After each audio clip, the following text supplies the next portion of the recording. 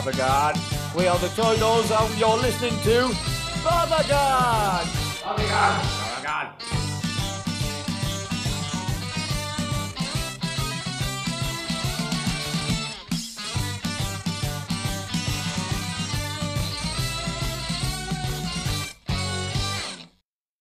Vítam všetkých v relácii Bavagan. Eh, Dnes tu máme exkluzívneho hostia, je ním Pali Horvát. Vítaj. Ahojte. A budeme sa s ním baviť o muzike ako inak v našej relácii. A bude tu, je tu aj Rastio. Čau. Čau, ahoj. Pár rokov dozadu fungovala kapela Živá voda. Prebehli koncerty, všetko. Slúbili ste, že bude nový album. Nakoniec to utichlo. Momentálne sa nedieje nič. Čo sa stalo? No, tá živá voda, to bol projekt vlastne, ktorý som mal v hlave, ktorým cieľom bolo hlavne, že mm, aj oživiť, aj podľa názvu, e, spomienky ľudí z mojej generácie. Takže mm, vlastne hlavný, hlavným zámerom bolo zahrať veci, ktoré som ja nahral v 80 a spieval hlavne v 80 a 90 rokoch. Takže ten základný repertoár bol vyskladaný z tohto a bolo, bolo akože otázkou, ktorá je na mieste podľa mňa v dnešnej dobe, že či z toho niečo bude ešte ďalšie alebo väčšie.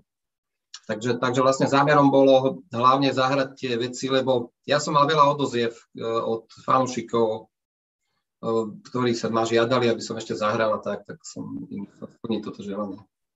Mhm. A ten slubovaný album, ten vlastne prečo sa nezrealizoval? Vznikali tam nejaké piesne? Ten, ten album ne, nebol slubovaný, nebol slubovaný album, myslím si. To bolo také otvorené, vieš, lebo v dnešnej, dnešnej dobe není jednoduché sa preraziť znova po nejakých dlhších rokoch na scéne. A samozrejme musí, ja, ja najradšej robím tak, že keď sa tie veci vyvinú nejak spontánne.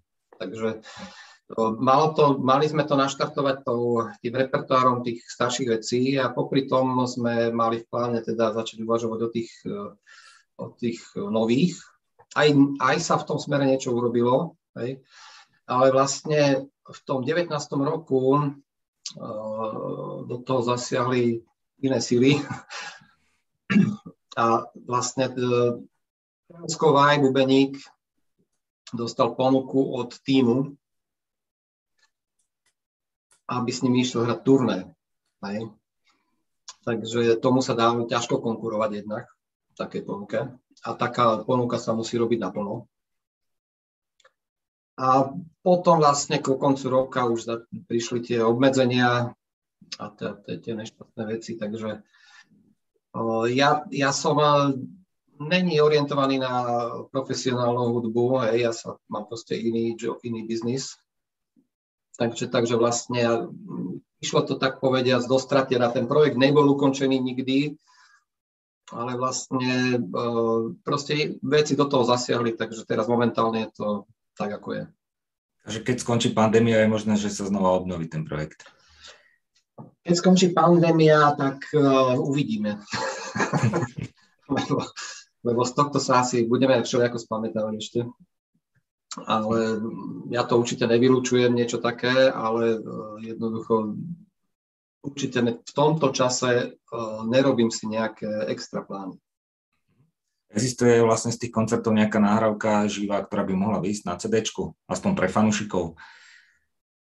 V takom formáte ne, v takom formáte. Existujú nahrávky jednotlivé pesničiek, ale to sú skôr nahrávky na mobily a tak. Hm, na YouTube som videl, že sú z koncertov, ale teda, že či sa niečo nenahrávalo, že vydali by sme pre fanúšikov. Nie, také niečo, také sa neurobilo.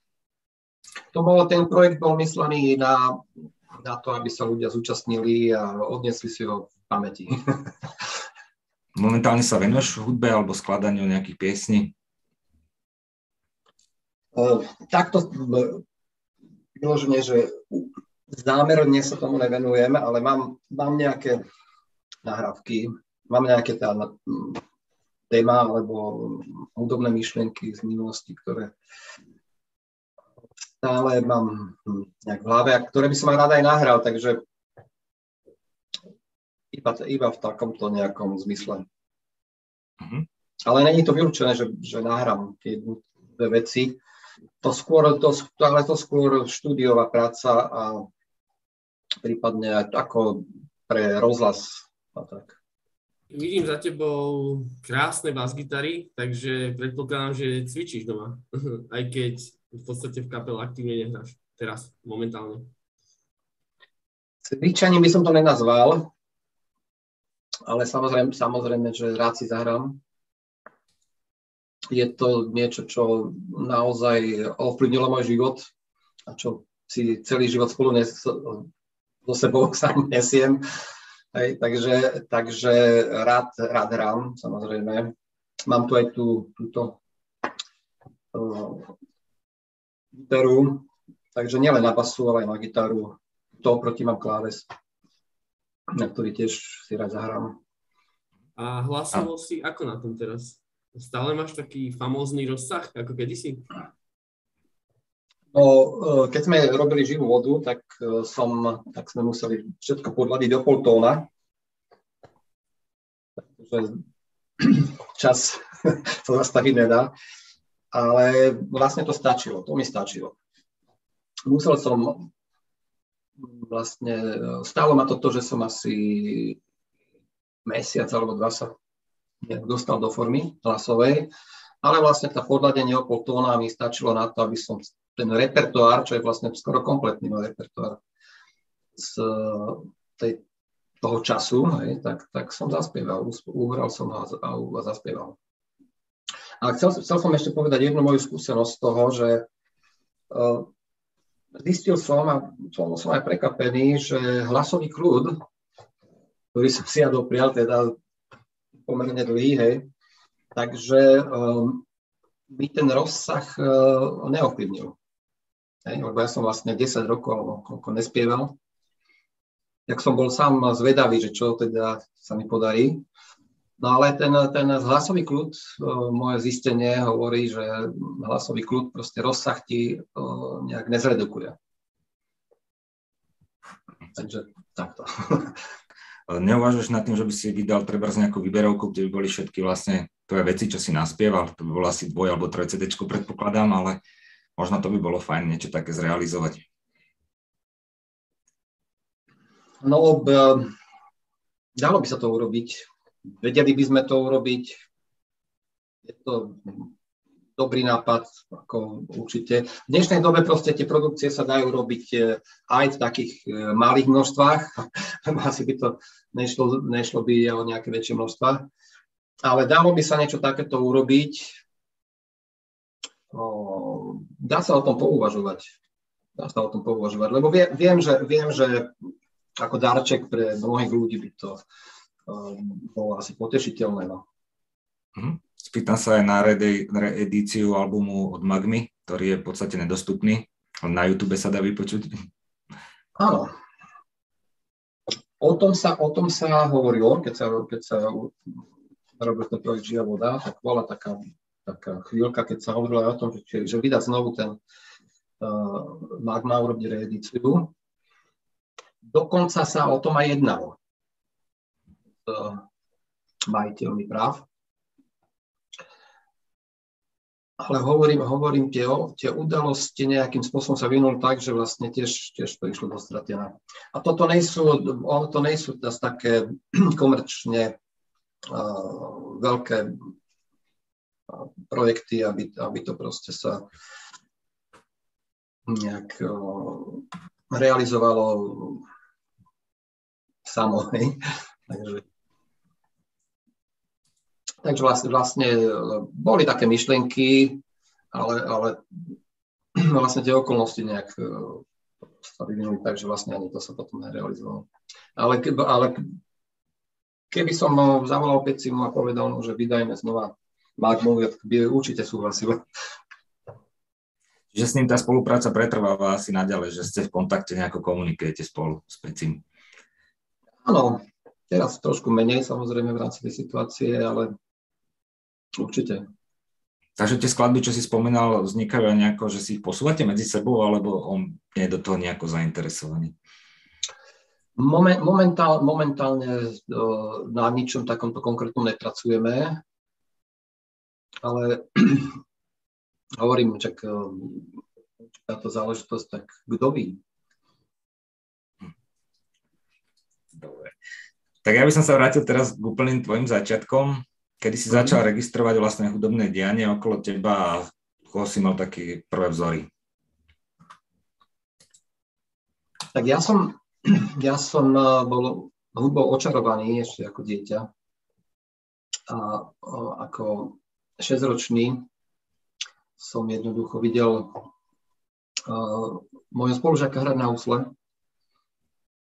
A uh, jednoducho vtedy vo mne vzkrsla idea, že hudbu nielen počúvať, ale aj hrať. A to je, myslím si, že veľmi závažné životné rozhodnutie. Takže u mňa, u mňa k tomu došlo, keď som mal 6 rokov. A uh, aj som požiadal rodičov, nech mi kúpia husle. A oni mi to želanie splnili.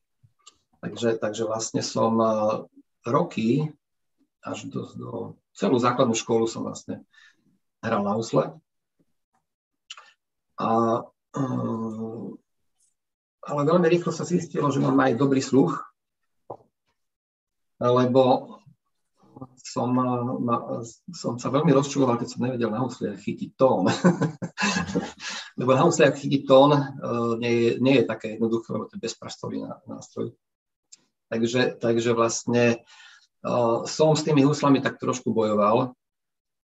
Až nakoniec samozrejme som založil vlastnú kapelu, keď na základnej škole. A prešiel som na bezpražcový nástroj, teda bas-gitaru. Teda na pražcový nástroj bas-gitaru. To bola tá kapela Mentol? Nie, to bola kapela mm, na základnej škole chlapci sme si založili takú kapelu a vlastne sme sa snažili svoje prvé pokusy, tak by som povedal, robiť hudobné, hej. A vlastne vtedy sa to rozdelilo tak, že jednoducho, kto mal aký nástroj, tak na taký nástroj hral v tej kapele. Viete, to bolo asi takéto rozhodovanie. Takže, takže jeden kamarát mal gitaru, druhý mal bicie. Ja, ja som si zaobstaral bas-gitaru a bolo rozhodnuté o mojej dráhe. A hudobné vzory tam boli aké vtedy? Hrávali ste nejaké preberačky? Nie, to, bolo, to boli vyslovené pokusy. To boli vyslovené pokusy.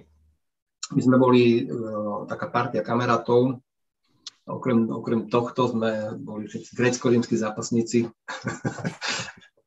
takže, takže chodili sme spolu na tréningy, aj na súťaže grecko-rímskeho zápasu. A popri tom sme mali ešte takýto projekt, podobný, no, ktorý cvičil u, u nás v obyvačke doma. Len do, do toho času sa datuje to, kedy som uh, vlastne uh, začal hrať na bas-gitaru. Boli to samozrejme veci nie, nie autorské, boli to prebraté veci, sme sa snažili napodobňovať alebo odpočúvať a hrať. Dobre, a z tých vzorov nám povieš niečo? Kto to bol? Nejaké kapely? Buď československé, ja, alebo teda zahraničné? No, my sme mali doma kopec nahrávok, lebo môj otec eh, bol diskofil, čo vtedy bola taká celkom bežná vec, že ľudia si nahrávali nahrávky a, a proste navzájom kopírovali. A, a môj otec mal kopec nahrávok, Beatles, Rolling Stones, Bee Gees, to bolo proste tá doba, 60. roky, Pink Floyd. A u nás doma to proste hralo v podstate permanentne. Lebo v tej, v tej dobe proste tieto, tieto ľudia si púšťali doma nahrávky, no, hudby, hudobné nahrávky, nepočúvali len rádio. A vlastne tam, sa, tam som ja dostal do seba nejak tie vzory a hlavne aj ten, to, hudobné cítenie, lebo každý, každý sa nejak musí naučiť aj, aj nejaký hudobný feeling v sebe objaviť. A ja, ja som ho v podstate objavoval na, na The Beatles. To bol pre mňa veľ, veľmi silný impuls hudobný. No a potom, potom jak sa to vyvíjalo, tak samozrejme ostatné kapely veľmi určite na mňa zapôsobilo tento Led Zeppelin a Robert Plant, ktorý e, mal výnimočný hlas a e, mal veľmi originálny, originálne poňatie toho spevu. Hej.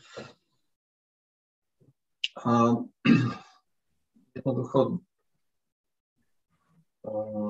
ďal, ďalšie vzory by som povedal, že boli také ako, to už boli také vývojové vzory to, to bolo tak, jak tá, jak tá hitparáda sa vyvíjala, vtedy sa, a vyvíjali sa hitparády a vyvíjali sa nahrávky, tak tam boli všetko možné, Genesis napríklad veľmi Santana splýval vtedy v tej dobe, ale to boli proste, to boli iné roky. No. Keby sme prešli ku kapele Mentol, tam boli aké ambície vlastne v tej kapele? Ty si odtiaľ dostal potom lano do Tublatanky. Čo ťa tak pohlo aj, že si prešiel do tej Tublatanky z toho mentolu? Do, do mentolu som sa dostal na inzerát, ktorý bol v novinách uverejnený, že kapela hľadá bas-gitaristu. Tak e, som sa tam prihlásil a, a zobrali ma. Zobrali ma kvôli spevu. Nie kvôli bas-gitaru, ale kvôli spevu ma zobrali. Lebo ja som proste bol obdarený svojimi schopnosťami a mal som nacvičené nejaké skladby aj na klavíri od Beatles a tak a proste vedel som ich interpretovať, mal som to odpočúvané a proste tam tam ma zobrali a začal som, a oni potrebovali, tam išlo o to, že oni potrebovali, oni spievali štvorhlasy vtedy dosť veľa skladieb bolo robených aj, aj na štvorhlasy. A oni potrebovali niekoho, kto vie aj spievať, takže som sa tam dostal nie ako bas-gitarista podstate, ale ako spevák. takže tam som začal hrať, ale to bola zábavová kapela. To znamená, že sa hrali zábavy v Bratislave a v okolí Bratislavy. A som jednoducho bola to určite veľmi dobrá škola. Všetci muzikanti o tom hovoria, že najlepšia škola je hrať zábavy, aspoň vtedy sa to tak hovorilo. Lebo sa hrával, hrával, to bol rozsiahlý repertoár z veľk známych hitov a jednoducho tie kapely to museli nacvičiť. Tak to hrávali aj taktici napríklad. Ips to, tak to hral v tej dobe, ktorých sme aj stretávali na tých našich e, výjazdoch sme ich stretávali a dokonca sme stretávali aj Elán, ktorý v, tej, v tom čase ešte hral aj zábavy. Ale hral ich tak, že mal veľa už vlastných skladieb, musím povedať. Ty si súčasne spieval aj hral na bas-gitaru teda, no? A tam som, tam som spieval, hral na, na bas-gitaru a v rámci toho repertoáru som sa proste naučil, tam som sa vycvičil. Ja som, keď som odchádzal z mentolu, som bol hotový muzikant, vycvičený. A v tom mentole si vlastne aj prišiel na to, že máš taký obrovský hlasový rozsah, že teda zvládneš uspievať veľmi veľa vecí. Áno, áno. Oni, oni jednoducho, keď ma zobrali, tak ma vlastne zobrali na tie vysoké party, lebo keď je štvorhlas, tak jeden z tých partov musí spievať tie vysoké tóny. A jednoducho, ja, mne to vyšlo, ja som, tam som vlastne zistil, že, mám, že teda mám hlas trošku vyššie postavený ako ostatní muzikanti. Hej. No a tam odtedy som hral, spieval vysoké hlasy, hral na basgitaru a, a proste no, týmto spôsobom fungoval. No a tým, že som vlastne tak e, týmto spôsobom fungoval, tak som sa na to aj vyslovene, že vycvičil. Mhm. A vraj ste hrali aj skladby od Led Zeppelin, že teda to si uspieval všetko. Áno, potom, jak sme, jak sme hrali tie zábavy, tak uh, bolo to dosť náročné, ešte to by som povedal, hej, lebo bolo to dosť náročné, keďže to boli zábavy, ktoré sa častokrát dali aj do štvrtej do rána. A hrali sa samé prebraté veci. A ja som bol pomerne mladý vtedy a mal som inú predstavu o, o, svojej, o svojej hudobnej nejakej dráhe. Áno. A vyslovene som chcel hrať vlastné veci a hrať koncerty. To bol vlastne môj akýsi, akýsi vývojový, vývojové pokračovanie z toho mentolu. Hej. A v tom čase sme na jednej zábave stretli Ďura Černého, ktorý v tom čase hral v Ipse. A Ďuro Černý mi povedal, že má gitaristu, Maťa Ďurindu, a že potrebujú bas-gitaristu, že či nechcem sa prísť sa na to pozrieť. A ja som samozrejme v podstate po ničom inom netužil. Len sa dostať do kapely, ktorá bude mať a hneď som sa ho spýtal, že, že či, či chcú robiť vlastné veci, lebo to bolo pre mňa kritérium. A keď povedal, že áno, chcú robiť vlastné veci, tak e, na koncerty, tak proste uh, som povedal áno. A vlastne behom týždňa sme sa stretli a uh, tam sme vlastne zistili na, pri tom stretnutí, že všetci sme úplne rovnako uh, naladení, lebo aj Maťo hral zábavy, aj Ďuro hral zábavy, aj ja som hral zábavy a jednoducho sme, chceli sme z toho odísť a chceli sme si založiť kapelu s vlastnými vecami a hrať koncerty. Mm-hmm. Takže ty, si mal nasklad... mm-hmm. ty si mal naskladané už nejaké piesne teda tiež, lebo na prvom albume vlastne je Maťo podpísaný pod hudbou. Ja som nemal naskladané veci. Mm-hmm. Ja, ja som počas e, toho mentolu nepracoval na, na tých veciach. A vlastne prišiel som na, na tie skúšky prvé s Máťom a Máťo mal pripravený, pripravené veci. Takže, a to boli tie veci, ktoré aj prišli na tej prvej platni. Hej. Čiže, čiže ten štart bol, dá sa povedať, veľmi rýchly. Veľmi rýchly štart bol. To proste my sme hneď začali cvičiť. Veci boli v podstate v polovice hotové. Potom sa tá druhá polovica nejak do, dokomponovala a mali sme koncertný repertoár a mohli sme začať hrať. A skutočne v roku 1982 sme na Mladej vlne už hrali hej, ako Tublatanka. Ja som kedysi zachytil informáciu, že na začiatku hral len Martin Sarvaš druhú gitaru, aspoň teda na koncertoch. Toto, toto počujem prvýkrát. Áno? Ona sa hovorila všeličo, ale toto počujem úplne prvýkrát. Máťo, Martin Sarvaš bol, je určite štvrtý člen kapely. To, je, to sa dá z istotou povedať. Hej. Ale nikdy nehral na nástroj podobný. Hej. Takže, takže to je asi tak. Takže vždy skladal texty a robil manažera. To bol, to bol vlastne náš e, taký zámer úplného počiatku. Jak sme sa stretli, tak e, jedna z prvých vecí bol repertoár a hneď sme rozmýšľali nad tým, že teda ideme, chceme robiť koncerty.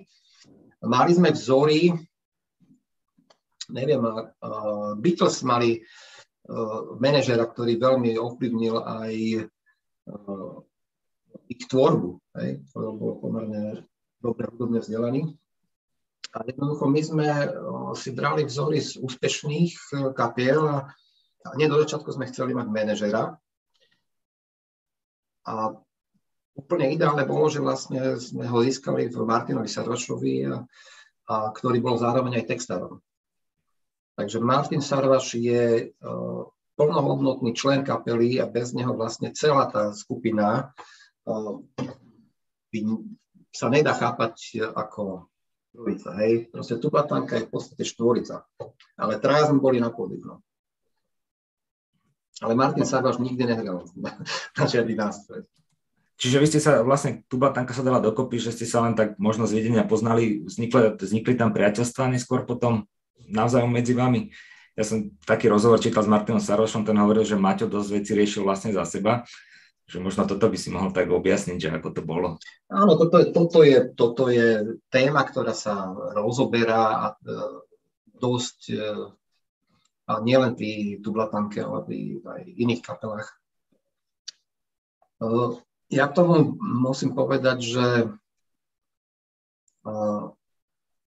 my sme boli, my sme boli keď sme zakladali tú kapelu, tak sme mali 20 niečo rokov, hej takže boli sme naozaj mladíci. A, v tom duchu sme jeden k druhému pristupovali aj ako proste, s veľkou otvorenosťou a, a priateľstvom. Hej. Ale uh, koncertovanie a um, vedenie kapely k ús- veľkým úspechom, hej, tak uh, to samozrejme sprevádza aj uh, nutnosť profesionálneho nejakého prístupu. To je vec, ktorá sa u mnohých kapiel jednoducho mieša, alebo aj bije.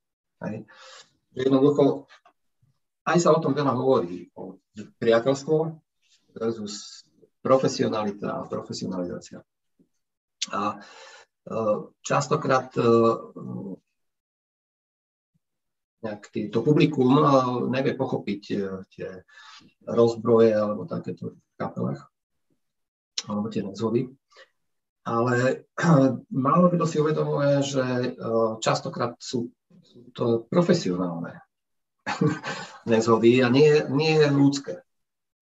Samozrejme, uh, sláva prináša aj ďalšie efekty a, a tak ďalej. Ale takže my sme, hovorí, hovorí sa tiež, že priateľstvo je um, trošku vec na, na príjemné chvíle, hej. A roková kapela to, to je niečo úplne iného charakteru. Čiže vlastne je to toto priateľstvo v kapelách má iný, iný proste, to je aký iný druh, iný druh priateľstva. Je to priateľstvo, ale je to ako keby iný druh priateľstva. V niektorých veciach oveľa silnejší a dá sa to aj ťažko, ťažko vypovedať. Tie, tí členovia tých kapiel sú navzájom veľmi a hlboko prepojení. Ja 100% nemôžem povedať, že, že my sme s Ďurom ktorý to je už nebohý, ale aj s Maťom a s Martinom Sarvašom hlboko prepojení. My sme spojení tým príbehom tej kapely, proste na dosmrti. Veľmi silne. A to, to nielen, nielen v tých uh, skladbách, ale proste aj v životoch, v životoch našich. Takže, takže um, my sme boli aj bratia v zbroji, ako keby. Hej? Keby, keď už hovoríme o priateľstvách a takýchto hodnotách pretože my sme spolu vymýšľali proste, ako dobiť Československo, čo bol náš jasný zámer. My sme proste, našom cieľom je bolo dobiť Československo a keď sme dobili Slovensko, tak potom sme povedali, teraz ideme na Čechy a dobijeme Prahu. Hej. Takže, takže my sme takto uvažovali a aj sme e, vymýšľali, ako to urobiť. A samozrejme, opakujem, že, e, že musel, museli sme sa v podstate dosť profesionalizovať, lebo ináč by sme to nikdy nedokázali. Musel, náš prístup musel byť profesionálny, aj, aj v rámci skúšania, v rámci koncertov. My sme tedy chodili všetci na vysoké školy, ale, ale vlastne tá kapela fungovala už na, na skoro také profesionálnej úrovni. Takže takto by som to nejak osvetlil. Spomínali sme vlastne, že ten prvý album, tam, boli, tam mal Maťo pesničky napísané už v podstate, nejaké ste dopilovali potom v skúšobni. Ako prebiehal ten proces skladania na ďalšie albumy? Prinesol Maťo Riff, prinesol si ty nejaké nápady a potom sa to spoločne celé dalo dokopy? Maťo bol v tomto smere naozaj výkonný a jednoducho on nosil eh, pesničky, ktoré boli v podstate hotové. A toto je určité know-how, by som povedal, klublatanky, že tie skladby vznikali trošku iným spôsobom, ako vznikajú, vznikali v iných kapelách. Jednoducho to boli, dá sa povedať, hlavne na začiatku, to boli hotové kompozície, vrátane bas, basovej linky Travers, čo sú otázky, ktoré častokrát dostávam. A jednoducho tá, tie, tie basové linky, ktoré on, on donesol, on vlastne donesol skladbu celú aj s basovou linkou všetkým. A o, tie basové linky boli špeciálne o, nakomponované na to, aby podporovali melódiu, gitaru a celú tú kompozíciu. Hej. Čiže uh, to, na, to chcem povedať, že básové linky častokrát, uh, častokrát vznikajú ako uh, trošku jazzovým spôsobom, že tí basgitaristi ako si feelingovo reagujú na treba gitaru a bicie. Hej. Uh, v tomto prípade našom tie linky boli vymyslené ako súčasť e, celkovej melodicko-harmonickej kompozície. A to bolo podľa mňa veľké know-how tublatanky, ktoré pretrvávalo minimálne v prvých dvoch platniach. Hej. Takže um, na, tých, na tých skúškach sa to v podstate doľaďovalo. Hej. Určite tam dochádzalo k nejakým pocitovým zmenám, hej. Alebo aj keď sa to zahralo spolu ako kapela, tak bolo niektoré zmeny potrebné urobiť. Hej, viete si to predstaviť. Ale, ale jednoducho tie skladby boli, uh, Maťo ich nosil ako, ako, cel, ako celok. Mm-hmm. Vy ste vlastne hneď tušili, že toto bude hit, napríklad priniesol veľké škole dny priateľa, alebo dajte mi na to liek, tak to bolo hneď jasné, že toto bude hit keď ste to zahrali? No, my, my sme, našim zámerom bolo vyrábať len hity. my, sme, my sme nevyrábali výplň. My sme ne, nevyrábali náplatne, na repertoár výplň. My sme robili repertoár no, s cieľom koncertovať. Takže, takže vlastne každ- tie skladby boli um, vymýšľané uh, aj ako cel, celkový koncert, my sme rozmýšľali o tom, že aby sme to, čo nahráme, aby aj na koncerte e, to bol nejaký program vlastne, e, dramatický by som až povedal, hej, ktorý, ktorý vlastne má hlavu a petu. Čiže to neboli len, my sme nehrali tak, že sme natočili platňu a teraz sme hrali piesne z platne, hej. Čiže chceli sme, chceli sme, aby ten program bol pestrý, pestrý aj harmonicky, aj, aj tóninovo napríklad, aby nebolo všetko Včku, podobné veci. Hej. Takže, takže ten, tie skladby boli vymýšľané nie jednotlivo, ale mali aj, aj širší celkový nejaký pohľad sa bral do úvahy, keď, keď sa to proste vyrábali tie platne a, a vlastne kto, z ktorých potom vychádzali tie koncertné uh, playlisty. Keď e, na treťom albume nabehli dvojkopáky, tak musel si zmeniť nejako štýl hrania na bas-gitare. Tam dozaj zrýchlili piesne niektoré. Áno. Áno. V, te, v tej dobe sa všetko veľmi rýchlo vyvíjalo. Aj, aj v hudbe. Aj, aj štýlovo sa vyvíjalo. To proste z roka na rok e, proste prichádzali kapely, čo sme sledovali, proste ten celosvetový vývoj nejaký tak e, sa to vyvíjalo dosť, dosť rýchlo. A kapely na to všetky vlastne nejakým spôsobom reagovali. A ten trend bol v tých 80 rokoch e, na pritvrdzovanie vlastne. To je, to je známy, známa vec celkom. A vznikali teda potom tie heavy metalové čo nejaké uh, verzie a až trash metalové, áno. Ale, ale my sme musím povedať, že my sme to cítili aj prirodzene tak. Hej? Čiže ne, nebolo to len e, sledovanie nejakého svetového, celosvetového trendu, hej, ale proste my tiež sme cítili, že ten hard rock uh, treba nejak obohatiť, by som tak povedal. Uh, tam išlo o to, aby ten zvuk bol plnší, trebárs, hej. A keď si kto pozná tú hudbu z tých 80 rokov, tak, tak vie, že že vlastne e, ten zvuk sa ako keby naplňal a tak gradoval. Hej. A, mm, malo, to, malo to asi pravdepodobne povod v tom, že jednoducho v tých 80 rokoch všetky tie kapely intenzívne aj koncertovali. Hej. Takže, takže mali ten istý problém, čo my riešili, že neriešili len natočiť platňu, ale, ale riešili aj koncert a proste hľadali, hľadali sa proste také formy, ktoré proste naplnia ten zvuk a ohromia tých divákov. Takže to, to sa vtedy tak, tak sa to robilo a my sme, my sme teda to tiež aj v tomto smere cítili a postupne sme prechádzali. Tie basové blinky na začiatku sa zmenili, hej, takže potom už som, potom sa tie basové linky už vznikali trošku iným spôsobom. Jednoducho sa, sa to, to viac, viac to vznikalo aj na skúškach. Hej. Robili sme pokusy rôzne farbami a, a niektoré pokusy proste sa nám páčili, niektoré nepáčili a nakoniec z toho vznikli tie skladby.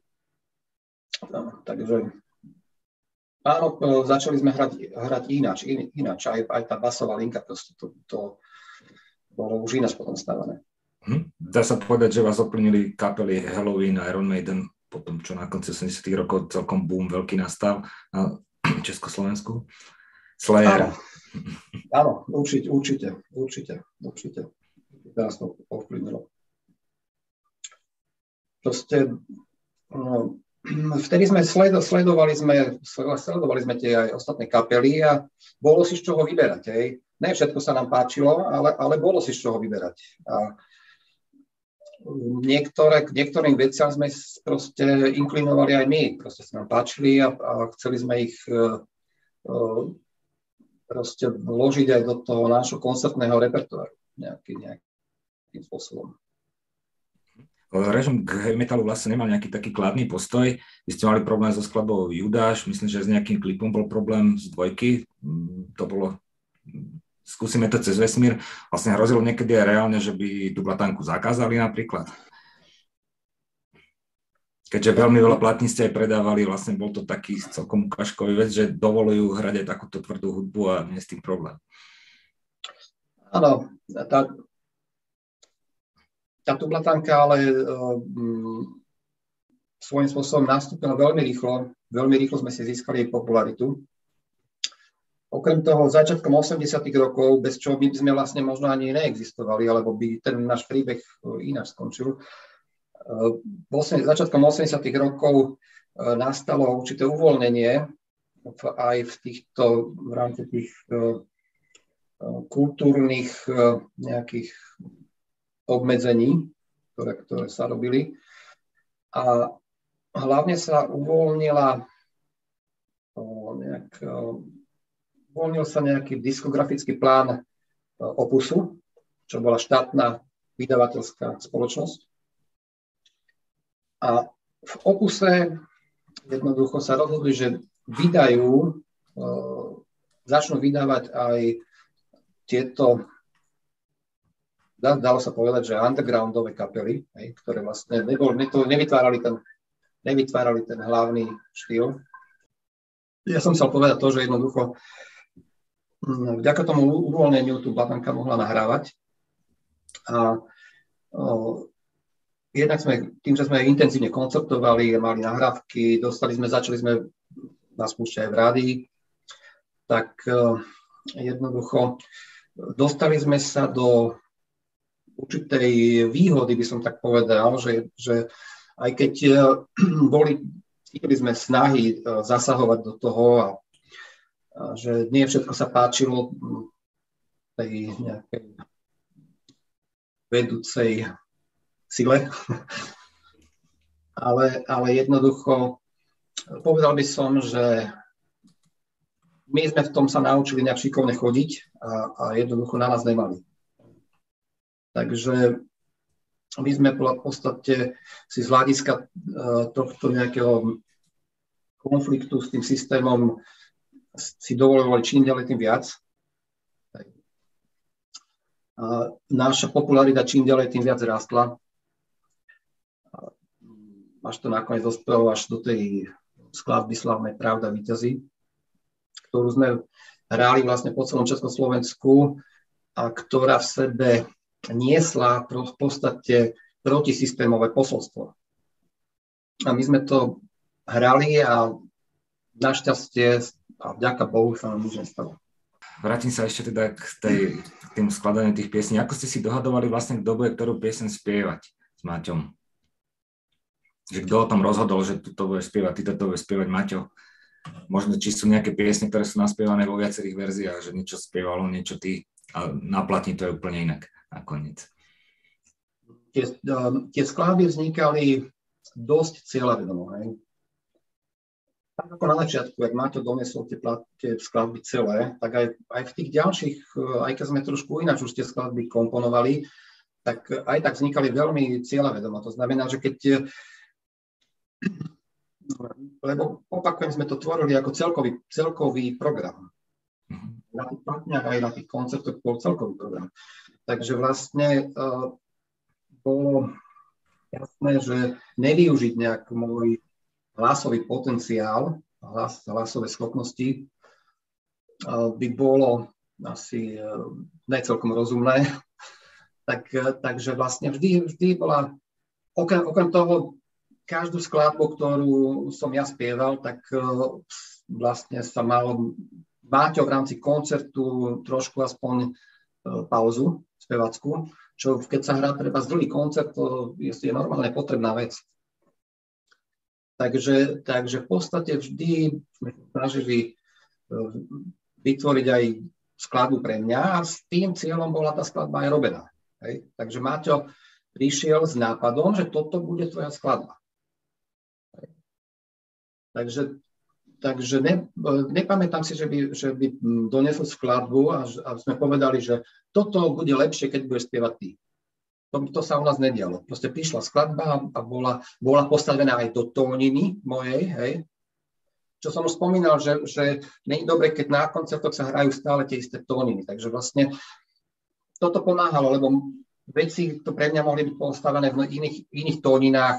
Tá kapela potom aj ináč znie, lebo proste sa tie polohy na, na gitarách sú inde. Hej. Takže, takže proste bolo to spestrenie. Bol to zámer a, a, a tak sa to aj robilo. Na štvrtom albume a potom na tých ďalších už sa objavili aj tvoje skladby. Znamená to, že Maťo už potom uvoľnil ruky aj tebe. Tam som dám ti viac na ilúziu, si napísal dokonca aj text. Áno. No, veľakrát, veľa ľudí e, sa možno čuduje, že, že vlastne to skladal celé Maťo, ako keby, ako keby my sme no, tam e, sa o to nezaujímali. Hej. To ne, nebolo, to, nebolo to preto, že by sme sa o to nezaujímali, ale vlastne ten, uh, tie Maťové kompozície vytvorili uh, celkový podpis tej kapely, ako keby, keď si predstavíte. A v takom prípade a s tým to sa týka mnohých kapiel, nielen nie československých, hej. Takom, ten, ten e, skladateľ, ktorý píše pre tú kapelu, vlastne vytvorí jej podpis a tým pádom, tým pádom e, keď príde iný skladateľ, tak zrazu všetci hovoria, že to není tá kapela. to, to, je, to môže byť často problém. Hej. Takže my sme vlastne, to nebolo, to nebolo kvôli nezáujmu, ale jednoducho bolo to skôr tak, že sme sa tešili, že ten Maťo má ten tie nápady sa z neho no, proste valia a, a kým to fungovalo, vlastne sme boli, sme boli spokojní, pretože sa tým zachovala práve aj táto vec. Hej. No a Samozrejme, že, že časom sa uh, aj takýto náboj proste určitým spôsobom môže uraviť. Aj? A zároveň tam uh, hralo rolu aj to, že sme začali uh, špekulovať pri ďalších albumoch, že o čom bude ten album. Aj? Že akú myšlienku, nejakú hlavnú hudobnú alebo aj textovú bude mať. A v rámci, v rámci toho sme, som ja začal mať ambície tiež sa, tiež sa toho po, zúčastňovať e, nejak autorsky. Ale musím povedať, že do, dokonca aj keď som začal tie skladby skladať alebo dávať do placu, tak e, s určitou opatrnosťou, lebo som si uvedomoval, že, že keď to ja napíšem, že to bude trošku niečo iného. Takže neviem, ako by som to osvetlil lepšie. No. Mhm. Ale koncepčne to zapadlo do toho albumu, každá tá skladba, takže... Asi to bolo Áno. super. Áno, áno, áno. Áno, proste, proste tá kapela ma prechádzala vývojom tak, ako ináč vtedy to, to, to bolo, e, všetko prechádzalo aj spoločenský vývoj bol veľmi silný. Rozumiete, to, v 80 rokoch. Takže to sa odrážalo aj na tých albumoch. A e, my sme na tej, na tej e, Nebo peklo raj som ja teda začal tak viac autorsky prispievať a Nebo peklo raj bola celkovo vlastne odrážala nejaký náš stav hudobného myslenia a stav aj takej interpretačnej nejakej zručnosti, pretože veľa kapiel presne týmto prechádza, že kapely do, časom dojdú do vysokého stupňa interpretačnej takej zručnosti, by som až povedal. Hej. A Nebo peklo raj vznikalo v takomto období. A my sme mali ambíciu proste hrať ekvilibristické záležitosti, čo teda mnohí nám aj nedoporučovali, ale my sme to proste tak urobili. E, ja osobne ten album mám veľmi rád, podobne ako mám e, pri iných kapelách rád tieto, toto obdobia, tieto pokusy, také, takéhoto instrumentálno aj kompozičné, aj tie kompozície boli proste ako keby z, trošku z iného sveta, hej. Tak e, ja, ja, ich mám, ja ich mám rád aj pri iných kapelách, pretože ja si myslím, že je to, že je to, že to predstavuje určitý vrchol, aj keď ne finálny, hej, ale predstavuje to určitý vrchol toho vývoja tých hudobníkov. Hm. Ale toto bol vlastne moment, kedy začali fanúšikovia od Blatanky odchádzať, tento album. Tak. áno, áno, áno, áno. Lebo, lebo platí, platí jedno veľmi tvrdé pravidlo, a to, že fanúšikovia uh, majú radi tie skladby, s, to, s ktorými majú spojené svoje srdcové nejaké zážitky. Hej. Takže, takže k tým sa radi vracajú a vlastne to, to požadujú fanúškovia všetkých kapiel, Takže, keď, e, takže takéto umelecké pokusy, e, ktoré majú treba e, hudobnú hodnotu, obyčajne ne, nemusia byť fanúšikmi veľmi chápané. Mm. To bol vlastne potom aj dôvod tvojho odchodu z Tublatanky, pokles ľudí na koncertoch, čo som aj teda sám zažil, že teda pred revolúciou sme boli vo vypredanej hale, po revolúcii sme boli v malom kultúráku, ktorý ani nebol naplnený. Áno, áno, áno. áno. Aj, aj my sme to zažili. Aj my sme to zažili. Ten Ako na Tublatánke som to zažil na koncerte. Že pred, revolúciou, na, pred revolúciou na Tublatánke na koncerte Je na Tublatánke, tak to, na Tublatánke som to zažil. To len potvrdzujem, áno. To len že po revolúcii sme boli v malom kultúráku na Tublatánke a nebol no. naplnený. No. A to bol dôvod aj tvojho odchodu, že teda to, tí fanúšikovia sa to znižovali, alebo aké tam boli dôvody vlastne, že si odišiel? Ja som Určite aj to bolo nejakým spôsobom eh, ovplyvňovalo veci, ale, ale nebolo to to hlavné. Ja som eh, nemal eh, cieľom, môjim cieľom a životným plánom nebolo byť celý život profesionálnym hudobníkom. Jednoducho ja som si predstavoval, predstavoval že budem riešiť aj iné veci. Okrem toho, v tom 89. vlastne to bol naozaj veľký spoločenský prelom. Hej. Otvorili sa možnosti, ktoré predtým neboli. Takže bolo to prirodzené, že som, že som inklinoval aj k tomu, aby som uplatnil sa v rámci tých možností, ktoré sa vtedy otvorili. Hej. Hneď po revolúcii som si napríklad založil firmu, ktorá vyvážala platne. Proste my sme poznali v rámci toho tejto blatánky sme spoznali aj celý výrobný proces z tých hudobných nosičov. A čiže ja som začal taký podnik, som si založil. A jednoducho mojou, mojou myšlienkou bolo nejakým spôsobom postupne sa z toho uvoľniť čo tiež není jednoduché samozrejme. To, to len jednoduché, býva to obyčajne aj dramatické, pretože naozaj to, to prepojenie tých členov tej, tej kapely je veľké, okrem toho odchod jedného člena môže zmeniť tvár tej kapely. Hej? Čiže, čiže mm, nebolo to jednoduché, ale jednoducho muselo sa to stať. Vlastne tu Blatanka skúšala už pred revolúciou preraziť aj do zahraničia, tam boli nejaké verzie anglické nahrané. Bola na to nejaká odozva? Sú nejaké čísla, že sa to nejako chytilo v zahraničí, alebo ako to dopadlo celé?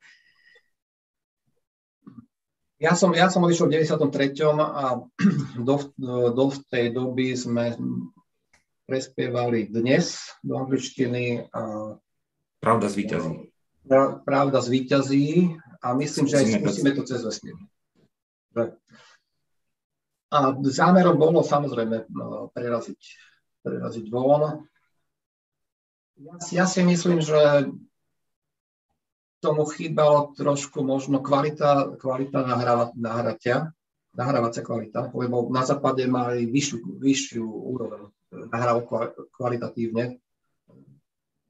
Druhá vec bola, že bolo treba k tomu aj ten, tie kontakty, by som povedal, aj ten obchodný nejaký, obchodné cesty nájsť. A tieto veci tam chýbali, ináč, ináč mohlo to byť úspešnejšie. Nebolo to, ale, ale mohlo byť. Hmm. Ty si sa krátko po odchode z Tublatanky ale objavil na albume Fermati Real Time, tam si naspieval dve skladby k tomu, ako došlo spojenie, vlastne to bola jazz rocková kapela, alebo taká instrumentálna, takže to by si mohol trošku pripomenúť, že ako došlo k spolupráci. No, no ja som sa s, s Ferom spoznal ešte neviem, v 85. 4. roku, keď sme vlastne začali byť taký trošku povedomí a videli aj muzikanti známi, že teda my sme uh, na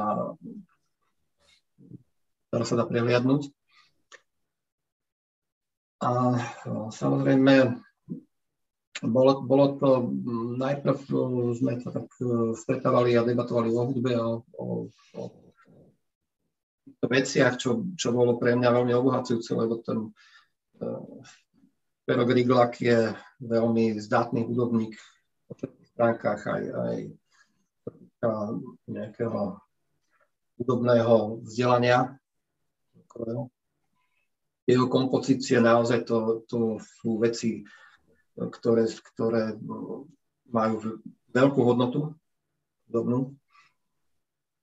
Takže bolo to veľmi poučné a, a keď som ja vlastne odišiel z kapely, tak e, to bolo v období, keď aj Féro sa po revolúcii nejakým spôsobom e, rozkúkával v tom novom prostredí. A vtedy vlastne viem, že on mal záujem o mňa ako o svojho speváka.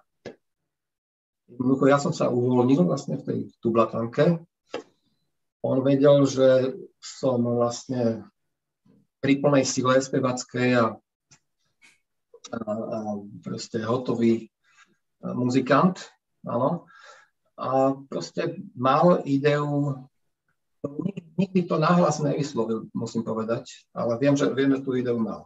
Že, že jednoducho okrem Fermaty založí projekt, ktorý by bol aj so spevákom.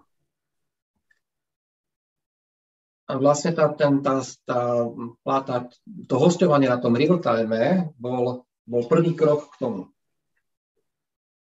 A tam, tam som spieval to, to Sundays a o Living Our Lives. Čo bola, čo bola vlastne, obidve boli anglické, anglické piesne, hej.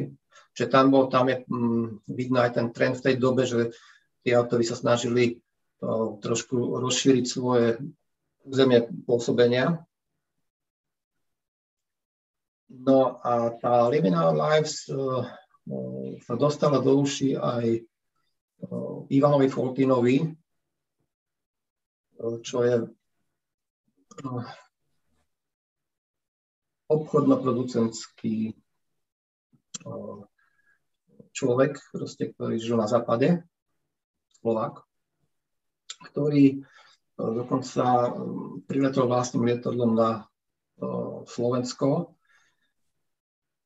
hľadal tu v tom čase a pres, presne, presne neviem, jak to chcel využiť, ale hľadal tu skladbu, ktorá, ktorá by sa dala predať na západe. Boli to zložitejšie obchodné zámery jeho. Hej.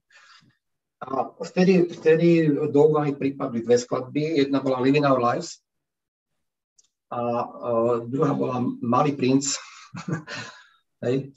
Takže na to, toto, povedal by som, výberové konanie skončilo tak, že nakoniec on nahral v angličtine ten, ten Malý princ a, a s tým proste to, použil v tých zámeroch. No, ten Our Lives uh, sa nahral vtedy, keď uh, sa konala Eurovízia, na ktorej vystupovala tu Blatanka. A my sme aj uvažovali o tom, aby tam sa zúčastnila tej súťaže Living Our Lives. A hovorím o tom preto, lebo tu Blatanka tam vtedy pohorela. A ja si myslím, že keby tam bola Living Our Lives, tak by mala úspech bola vtedy nekonečná pieseň, myslím, že? Uh, bola sa, bola, volalo sa to Livena... Ale áno, myslím, od to bola nekonečná pieseň, áno, nekonečná pieseň. A na Slovensku boli na to, akého hlasie si pamätám, že keď som to prvýkrát počul v aute, tak mi padla teda sánka z toho dole v 94. keď som počul ten album Real Time. A mm-hmm. ako to bolo vtedy, aké boli na to reakcie, keď si ešte možno spomenieš? na to moje účinkovanie? Alebo... Áno, v tej fermáte, hej, aké to bolo, lebo to bolo akože, fakt to bola pecka na tú dobu, tie dve skladby. Aj v rádiách sa to hrávalo, ja si pamätám, že hrávali to rádia, to Laura. Áno, áno, áno, áno, áno hrávali, hrávali to.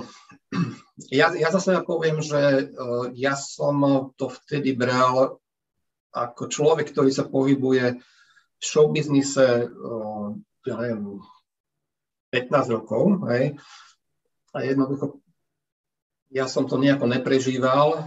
Vznikalo to tak, že som bol oslovený, účinkoval som, boli tam nejaké tie, tie možno ďalšie možnosti sa rysovali, ale ja, ja som už si na to nestával. Hej. Ja som si na to nestával. Jedna z, ve- jedna z vecí, ktoré možno boli horšie ako pri tu Blatánke, že jednoducho to nemalo ten mediálny background nejaký, hej. Takže, takže vlastne ani som nerobil vtedy nejak veľa rozhovorov okolo toho. Boli aj rozhovory samozrejme, ale, ale ja som to bral vlastne viac menej jednak profesionálne, že som účinkoval na profesionálnom projekte a jednak som to bral kamarátsky, že som teda spolupracoval s dlhoročnými kamarátmi, ktorých som si vážil a proste som mal k ním nejaký vzťah. Takže pre mňa to bola čest vlastne hrať s A neskôr vlastne z toho vznikol projekt Magma potom. Áno, a neskôr, neskôr z toho vznikol projekt Magma. To bolo, ja, ja to tak môžem povedať, že to bolo, to bolo takéto moje odchádzanie. Odchádzanie od hudby alebo odchádzanie? Odchádza, odchádzanie, moje odchádzanie bolo trošku sprevádzané takou protisílou, že vlastne títo ľudia sa ma tam chceli, chceli udržať v tom, v tom show biznise a, v tom, v tom, a ten môj hlas a tie, tie moje hlasové schopnosti. Hej. Takže, takže bo, bol, bola, tam, bola tam uh, snaha ma tam udržať. Hej. Ja som bol pre tých uh, ľudí dobrý, výborný spevák, ktorý, ktorý proste môže pomôcť tým hudobným projektom. Takže ale, ale ja som v tej dobe sa už, ja som sa, ja som sa naozaj v tej dobe už nesnažil nejak e, sa ponárať do toho show, show biznisu.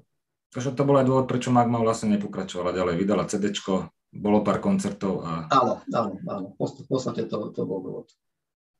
A potom som našiel zmienku ešte o kapele Dogman, ale viac nič som o tom nenašiel. Bolo niečo také? Aj sa chystalo? Áno, bolo, bolo, bolo, bolo. A to bolo asi v ktorom roku? To bolo v 2007 roku. V 2007 roku ma oslovil známy gitarista Vadim Bušovský, ktorý uh, bol frontman kapely Dorian Gray, aj, gitarista. A ja som um, vlastne nepovedal ne, ja, ja som väčšinou na projekty odpovedal ne.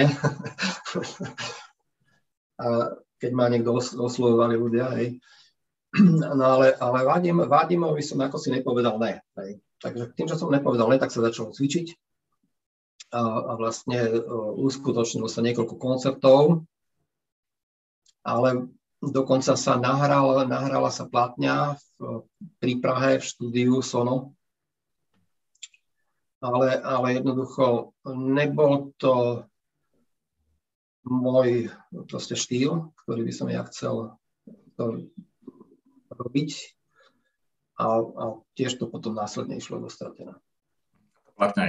Pri tom, pri tom opakujem, pri tom opakujem že, že ja som najradšej, keď tie, a to som sa naučil pravdepodobne pri tej tublatanke, že ja som najradšej, keď e, tá tvorba a no, proste ten tej kapely vzniká určitým, určitým synergickým takým spoločným spôsobom, ktorý vlastne sa môže stať, ale nemusí sa stať. To závisí od toho na tom, ako, sa, ako tí ľudia proste spolu uh, sa zohrajú nejakým spôsobom.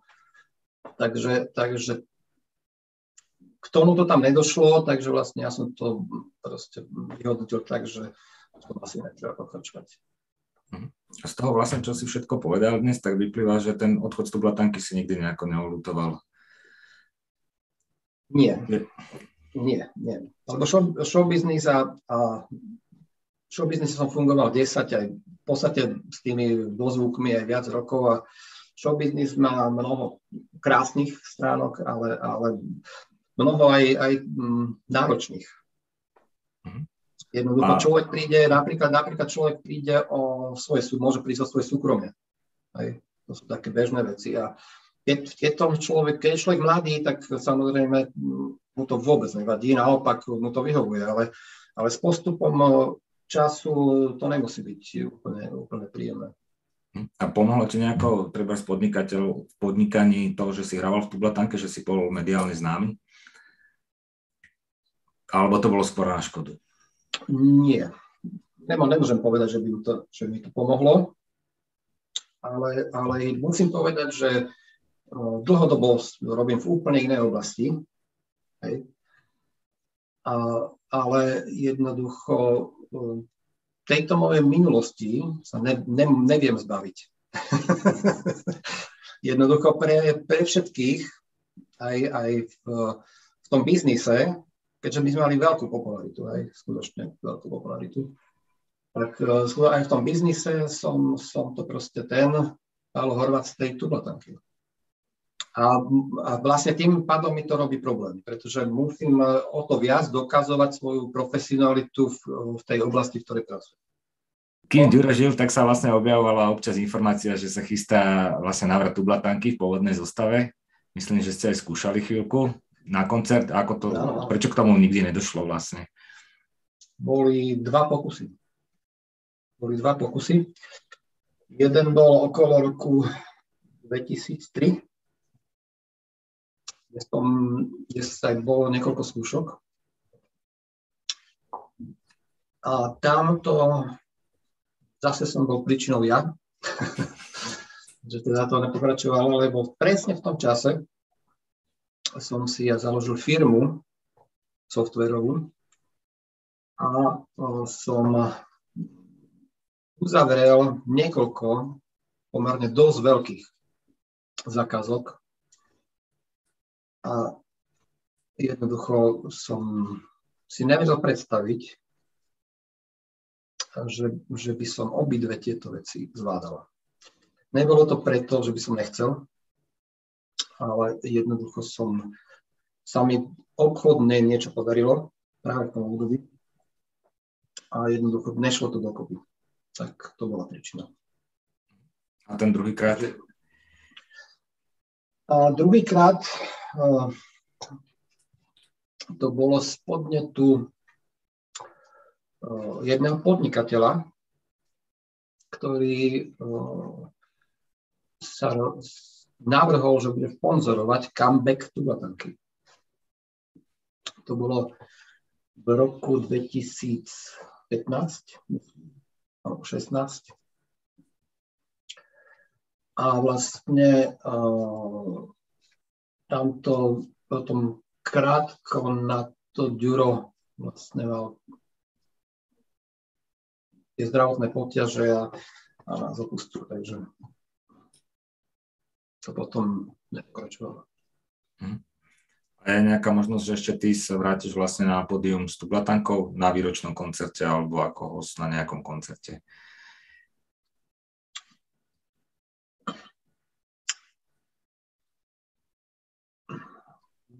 Ako není to, ja to, nevylu, ja to nevylučujem, hej.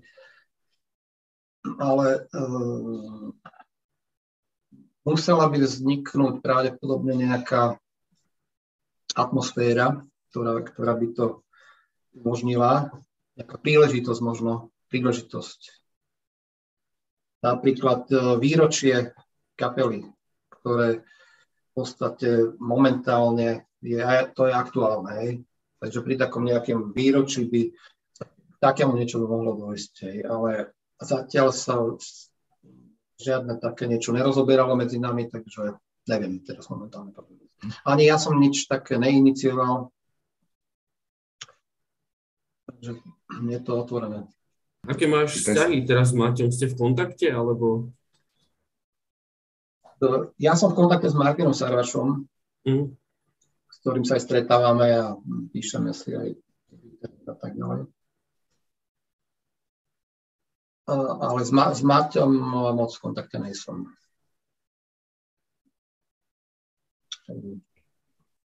Mateo jednoducho venuje sa tej svojej profesionálnej kariére. Takže uh, on, je, on je proste je dlhodobejšia záležitosť, že, že on proste sa pohybuje v tom prostredí a, a tým pádom tieto vzťahy z tej predchádzajúcej kapely uh, nie sú popredí. Proste ja to beriem ako normálnu vec. Mm. A si sledoval potom osudy Tublatanky po tvojom odchode? Aké boli ďalšie? Či počúval si možno nové platne od nich, ktoré vznikali? No, že by som sa tomu intenzívne venoval, to určite ne. Hej, ale, ale jednoducho mm, sledoval som to, však do, dostalo sa mi to do uší, samozrejme. Maťo mi dokonca aj uh, jedného času dal všetky CDčka, medzi ktorými boli aj tieto nové, takže ja som to počul tie veci. Hej. Ale um, nejak intenzívne som sa tomu nevenoval. Sledoval som, sledoval som určite Maťo vývoj, lebo Maťo je talentovaný a, a, a dôležitý prvok slovenskej pop music, takže určite, určite ma zaujímalo aj, jak sa bude vyvíjať, aj preto, že som ho poznal, som s ním spolupracoval a tak ďalej, tak ma zaujímalo, ako sa bude vyvíjať táto stránka. Hlavne to ma vlastne zaujímalo. Ako sa bude vyvíjať tá jeho autorská stránka. Hej tá jeho nápaditosť, ktorá bola svojho času obrovská, bohatá a vlastne vynikajúca. Hej. Takže to som sledoval a, a myslím, myslím si, že ten najväčší jeho počin autorský a, a aj kompozičný bol vtedy v tých rokoch, keď sme bola za tej prvej takže to, to sa nám prekonať nepodarilo. A to je proste e, veľmi náročná vec. To, to sa, keď sa to niekomu podarí, tak to je skôr zázrak. A aj si navštívil koncert Trebars v minulosti už v novej zostave, ktorá bola tu Blatanka. Nebol som, nebol. Na novej tu Blatanke som nebol. čo hodnotíš asi taký najväčší bod v tvojej kariére, čo bolo v kariére Tublatanky tej profesionálnej kariéry, čo to bolo asi také, bola to Budková, bol to Lodo neznáma, alebo Prometeus, prvý album, nejaký taký milník, najsilnejší. Pre, pre, mňa, osob, pre mňa osobne uh, veľmi uh, sa stotožňujem nejakým spôsobom s piesňou Smrť a ktorá je v podstate podstou Led Zeppelinu, a myslím si, že to je skladba, ktorá ukazuje tak instrumentálne schopnosti, interpretačné, spevácké je nadladová a proste je to, je to skladba, ktorú mám asi by som tak vypichol. A za kapelu samozrejme je to práve víťazí, čo je, čo je skladba, ktorá v podstate pohla Československom. Keďže, keďže v Československu Československo v tých revolučných časoch bolo trošku zaspaté, o čom sa veľa hovorilo. Pravdepodobne aj kvôli tomu nešťastnému roku 1968. Takže ľudia, ľudia to mali nejak trošku možno strach sa prejaviť, tak ako v okolitých krajinách sa už dialo. A my v tom období sme proste burcovali národ tou skladbou Pravda víťazí. Mhm. Čiže táto skladba podľa mňa uh, si zaslúži najväčšiu, najväčšie uznanie mňa. Ale takéto burcovanie urobila aj Lodo neznáma v tom čase. Áno, ale Lodo neznáma je trošku taká pesnička z, o, nejakom spoločnom ideáli, hej, tak samozrejme aj pravda, je, pravda vyťazí o ideáli, ale pravda vyťazí je proste, dá sa povedať, revolučná pieseň. Ja by som si napríklad tvoj koncert nevedel predstaviť bez toho, že by si nezahral Prometea a nezaspieval. Áno, áno, áno, áno, to by som rád tiež e, spomenul Prometea, lebo Prometeus je skladba. My sme hovorili predtým, že, že skladby vznikali tak, že ich donesol celé Máťo. Hej. Potom vznikali skladby, že bol nesol rýv a sme ich dotvárali, ale vznikali skladby aj tak, že vznikla len idea, myšlenková idea a na tú ideu vznikla uh, skladba aj text. To je prípad uh, tak uh, právny výťazí. Najprv vznikla idea vôbec, že napísať skladbu Pravda výťazí bez toho, aby sme vedeli, ako bude znieť, alebo čo sa v nej bude spievať. A potom e, takto vznikol aj, e, takto vznikol aj Prometeus. Tá idea pochádzala odo mňa. a, a jednoducho som vlastne navrhol, aby vznikla skladba Prometeus podľa gréckej báje o Prometeovi je veľmi slávna, veľmi veľavravná a taká silná grécka povesť. No a určite túto skladbu milujem. Ja keď ju spievam, tak ju spievam naj, so svojej najväčšej hĺbky. Aj teraz, keď sme to zaživo spievali, tak, tak som to s tou skladbou sa úplne ako, dá sa povedať, stelesňujem niekedy. To bola vlastne skladba, ktorá vytrčala z toho, z toho tretieho albumu, Žeravé znamenie osudu. Aha. Bola iná, iná ako ostatné piesne a bola áno. super. Áno, áno. Máme za sebou opäť veľmi zaujímavý rozhovor s exkluzívnym hostom, Palom Horvátom, ktorý si na nás našiel čas. Za čo mu veľmi, veľmi pekne ďakujeme a hlavne obrovský rešpekt pred týmto človekom. A ďakujeme fakt, veľmi, veľmi pekne. A ja ďakujem. Ďakujeme veľmi pekne. Ahoj. Ahojte.